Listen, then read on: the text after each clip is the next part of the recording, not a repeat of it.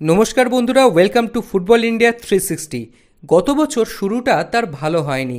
আইএসএলে প্রথম চার পাঁচটা ম্যাচে সঙ্গী ছিল সমালোচনা, কিন্তু তারপরই ধীরে ধীরে খোলস ছেড়ে বেরোলেন।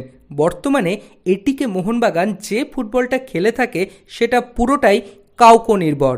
অ্যাটাক ও ডিফেন্সের লিঙ্কম্যান জনি কাউকো এই বিষয়ে বলেন ফিনল্যান্ডের ঠান্ডা আর ভারতের গরম।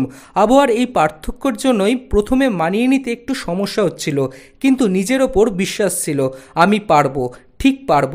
মজার ছলে তাকে জিজ্ঞেস করা হয়, কেরালা ব্লাস্টার্সের বিপক্ষে আপনি সবসময় জ্বলে ওঠেন এবং কার্যকরী মুহূর্তে গোল করে দলকে বড় বিপদের হাত থেকে বাঁচান। রহস্যটা ঠিক কী?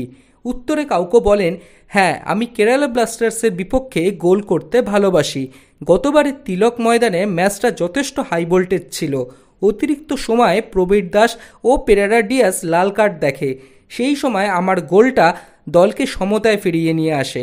আর এবারের গোলটাও দলকে লিড এনে দেয় ওই একই টিমের এগেনস্টে। দুটি ম্যাচেই আমরা পিছিয়ে পড়েও ঘুরে দাঁড়াই।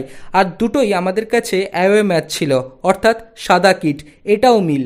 ডার্বি ম্যাচে গোল করবেন কি না জানতে চাওয়া হলে তিনি এ ব্যাপারে দলের স্বার্থকেই প্রাধান্য দেন।